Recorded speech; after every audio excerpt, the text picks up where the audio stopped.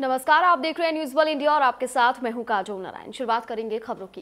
कासगंज की पटियाली में 10 फरवरी को होने वाली पीएम मोदी की चुनावी जनसभा अब 11 फरवरी को होगी। प्रधानमंत्री नरेंद्र मोदी और मुख्यमंत्री योगी आदित्यनाथ का आगमन अब 10 फरवरी की जगह 11 फरवरी को होगा। प्रधानमंत्री के कार्यक्रम को लेकर बीजेपी नेताओं ने तैयारियाँ शुरू कर दी हैं। इसी कड़ी में डीआईजी डीएम एसपी और एसपीजी टीम ने जनसभा स्थल का भ्रमण कर सुरक्षा व्यवस्था का जायजा लिया। ये कार्यक्रम दरियावागंज फायर स्टेशन के सामने बड़े मैदान में आयोजित किया जाएगा। प्रधानमंत्री के आगमन से पूर्व केंद्रीय सुरक्षा एजेंसियाँ सक्रिय हो गई हैं और सभा स्थल की प्रत्येक गतिविधि पर नज़र जमाए हुए हैं। जनसभा स्थल से चंद कदमों की दूरी पर हेलीपैड बनाए जा रहे हैं। बता दें कि तिरपन साल बाद ये पहला मौका होगा जहाँ देश के प्रधानमंत्री का पटियाली आगमन होगा। इससे पहले उन्नीस सौ उनहत्तर में पटियाली में चुनावी जनसभा को संबोधित करने के लिए प्रधानमंत्री इंदिरा गांधी का आगमन हुआ था, जिसके बाद अब प्रधानमंत्री नरेंद्र मोदी 11 फरवरी को पटियाली आएँगे।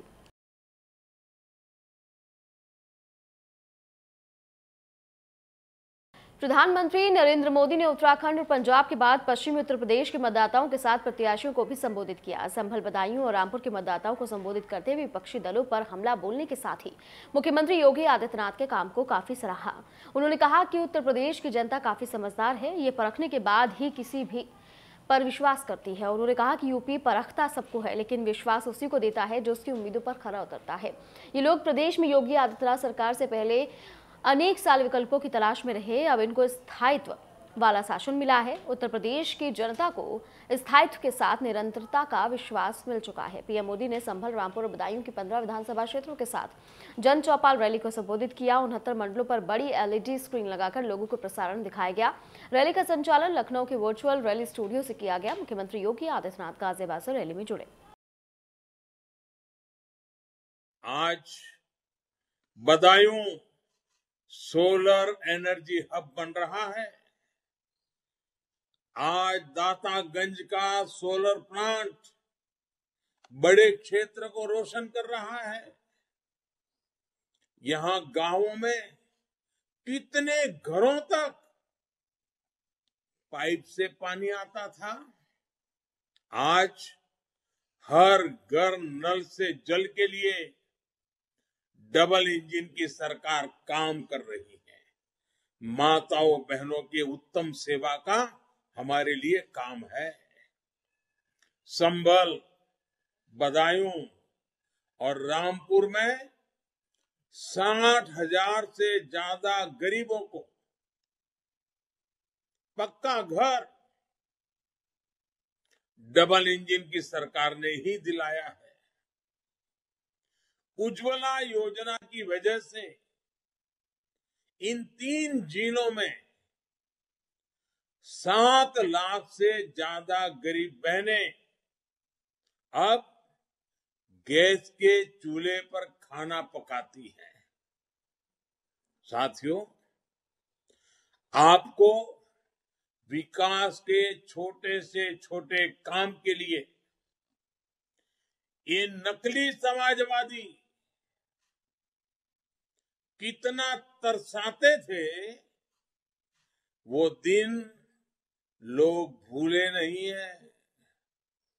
संभल के लोग, मेडिकल कॉलेज की मांग सालों साल करते रहे।